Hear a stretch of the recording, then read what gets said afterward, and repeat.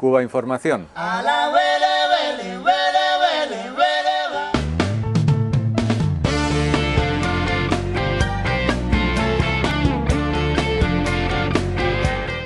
Me llamo Salim Lamrani, soy profesor, escritor y periodista francés y trabajo sobre las relaciones entre Cuba y Estados Unidos.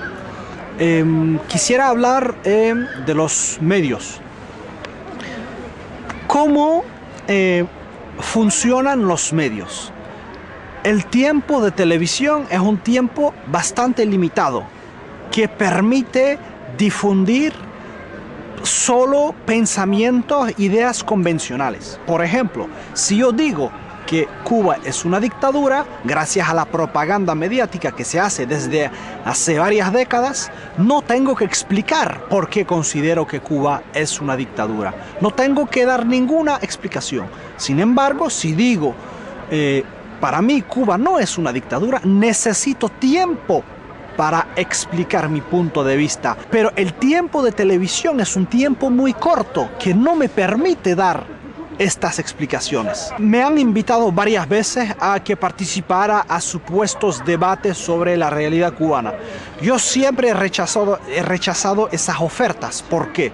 Porque siempre son debates Em, con condiciones bastante precisas. Por ejemplo, yo tengo que debatir contra 3, 4, 5 personas en un programa de una hora y jamás eh, tendría tiempo para desarrollar una idea clara, porque primero el tiempo de televisión no me lo permite y por supuesto los demás eh, participantes me cortarían a cada rato. Por eso yo rechazo eh, esas ofertas. ¿Y por qué me proponen esas participar en estos eventos. Simplemente porque recibe muchas críticas de los televidentes que siempre ven a las mismas personas eh, en la televisión. Y entonces para que tengan un mínimo de legitimidad, me van a invitar a mí una vez al año, dos veces al año, en un programa donde voy a tener cuatro, cinco, eh, personas que no, que no me van a dejar hablar y después tendrán esa especie de legitimidad para decir, bueno,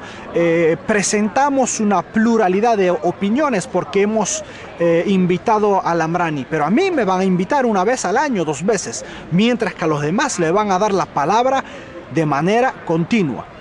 ¿Cómo se puede desbaratar la propaganda eh, contra Cuba? De manera muy sencilla, pero hay que hacer un trabajo de información. Tomemos la cuestión de los derechos humanos. Yo no puedo decir que no hay ninguna violación de derechos humanos en Cuba, no puedo decirlo, porque ni siquiera puedo decir que no hay ninguna violación de derechos humanos en mi propio país, que es Francia. Sin embargo, si yo quiero tener una idea clara, honesta, puedo consultar los informes anuales de una prestigiosa organización internacional que se llama Amnistía Internacional.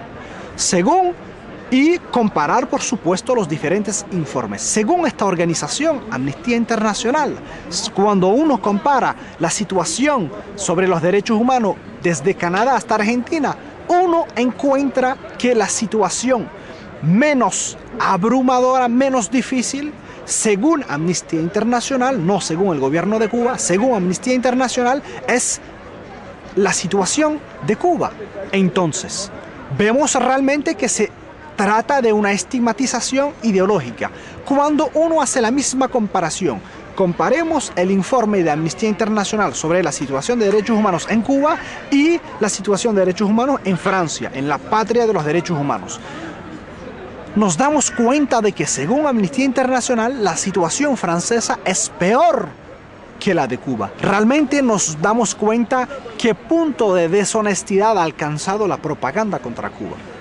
Tomemos otro argumento eh, sencillo, la cuestión migratoria. Se utiliza el argumento, la problemática de la inmigración para calumniar, estigmatizar al gobierno de Cuba. Se dice que muchos cubanos se van de Cuba, entonces es porque la revolución no es tan buena. Perfecto, ese es el argumento de base.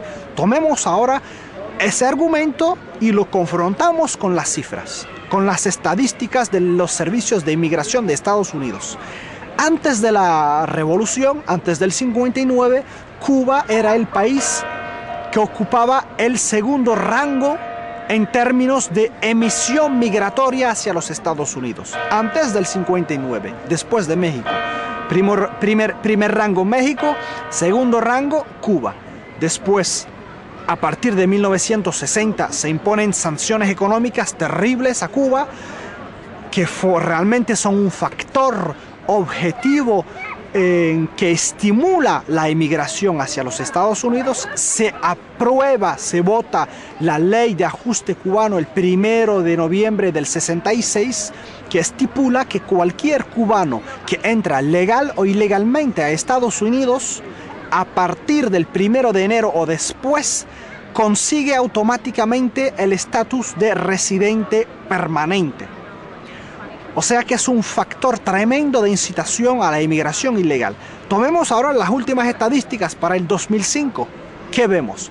Vemos, podríamos pensar realmente que ahora Cuba eh, podría ocupar el primer rango. Sin embargo, nos damos cuenta de que según las estadísticas, Cuba no, no ocupa el primer rango, no ocupa el quinto rango, sino que ocupa el décimo rango. O sea que si tomamos el argumento de base, llegamos, confrontándolo con las cifras, a la conclusión contraria. Esa es una manera realmente sencilla de desbaratar la propaganda mediática contra Cuba.